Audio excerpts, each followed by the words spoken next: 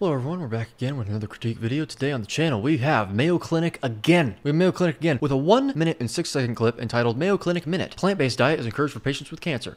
Now, of course, if you know anything about anything, you know that it's not, by any sensible person, an auspicious, propitious approach to ameliorating cancer, okay, at all. And we'll get to that later. But what's most humorous and comical about this is that YouTube says from an accredited US hospital, so it's an appeal to authority, and the comments are turned off.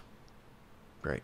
So, anyway, let's just go ahead and jump right into this because my camera is going to die anyway. So, let me just sum this up real quick. It's the dietary pattern that the organizations such as the American Institute for Cancer Research and the American Cancer Society recommend is a plant predominant diet. And that is exactly why you shouldn't do it because it is administered and promulgated by misanthropic institutions that profit off of people's sickness. It's just a fact now. That's not a conspiracy theory.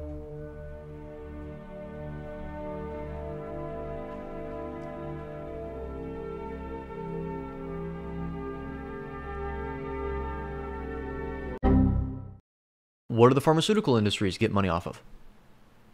For example, we know this stuff. It's just a fact. That's what their profit incentive is. Okay? So let's get that out of the way. But also, plants contain an exorbitant level of carbohydrates, an excessive amount, excessive being more than zero.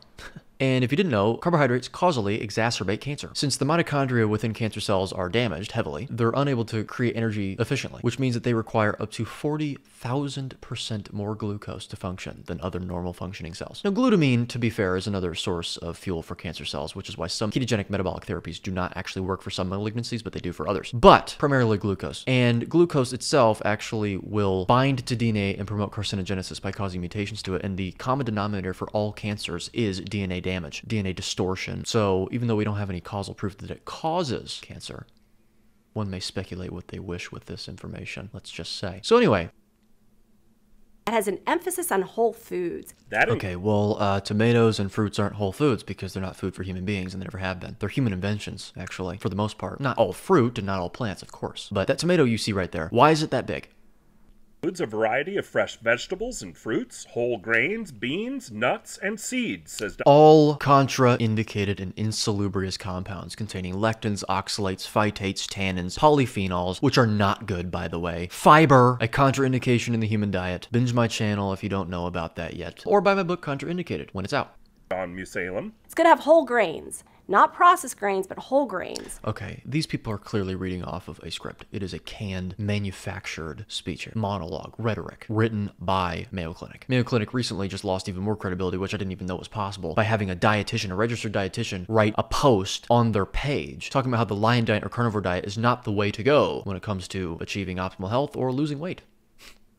Skip ultra processed foods. Limit or avoid red and processed meats. No, red meat is what we have evolved on and have been eating for four and a half million years primarily, as established unequivocally by stable nitrogen and carbon isotope analyses conducted in 2019 on the collagen of the long bones of ancient human remains using a mass spectrometer, which established unequivocally that 80% of our effective fuel intake was in the form of red ruminant meat primarily, and the other 20% being subsistence food whenever hunts were unsuccessful, primarily in the forms of fruit in the ever ephemeral, ever transient fruit season, which is nothing like the fruit we see today after human human hybridization and human breeding, like I just alluded to earlier, and also very fibrous tubers and roots, which once again was not starchy. It's starchy now because of human hybridization. It was fibrous. We had to break it down first by cooking it. And even then, a lot of times we would spit out the fiber. So, um, no, Red meat should be your primary source of fuel, if not the exclusive fuel for your body. Hate to break it to you, whether I like that or whether you like that or not. As you guys should know by now, no supplements need to be taken on a carnivore diet as you can derive everything you need from such a diet. However, this does not mean there aren't certain nutraceuticals that can be taken to further ameliorate inflammation and subsequently any illness, disorder, and disease one may be plagued with. One of the best products on the market, if not the best product in doing such a thing, is the flagship product to a company known as Cerule called Stem Enhance Ultra, which effectuates the release of one's own inherent stem cells from their bone marrow. When this occurs, this results in what may be perceived by some to be the epitome of regeneration. Now, I cannot under any circumstances claim any cause and effect relationships from this product and any hard health outcomes. However, one may speculate what they wish with this information. If you want to know more about this product or are interested in buying this product, as well as many other products from the Cerule company, please refer to the link on the screen now or the description below.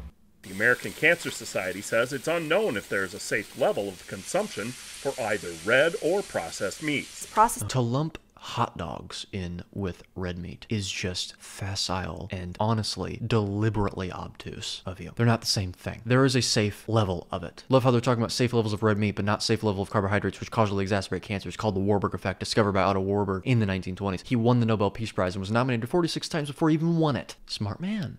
considered a carcinogen. Yeah, and that's based on vapid epidemiological studies, which aren't science at all. Do you even know what epidemiology is? It's called class 2 carcinogen. It's classified as such. Or the To replace some of that red That's all I have to, I, I just have to give a look. That's what my feelings are about the Can't talk about it, but meat component where folks get protein, you want to lean in on consumptions of pulses. Pulses include legumes or beans, lentils, and peas. no, that protein isn't even relatively bioavailable. For example, 70% of the protein in wheat is gluten. You absorbing any of that, or is it disrupting your gut, along with other things as well? Look up zonulin. You'll add protein and fiber. The American Fiber is a contraindication in the human diet and is abrasive to the enteric nervous system. For Cancer Research shows, Don't do that. Don't eat that. and the American Institute for Cancer Research shows No. Research shows is a trite, banal phrase and is insipid in the extreme and is said ad nauseum to the point where it actually shows your ignorance and gullible nature. This is just garrulous, bloviating, loquacious nonsense. for every 10 gram increase in fiber in the diet, you improve survival. Improve is a cause and effect word. I was waiting for that. There are no studies to inform upon the risk of any heart health outcome or disease process as it relates to any aspect of human nutrition over any given period of time throughout the entire time human nutrition science has existed because it's not causal research. It is not causal science. So that includes not only establishing the risks of diseases, but also the improvement of diseases. That's why I said that in the first place. The benefit of foods, including meat. This science doesn't prove that. You look at hard sciences. You stop being so myopic and you look at hard sciences, particularly biochemistry, really, chemical anthropology as well, which is what I referred to earlier. Okay, so no, whatever you're about to say next, no, it doesn't.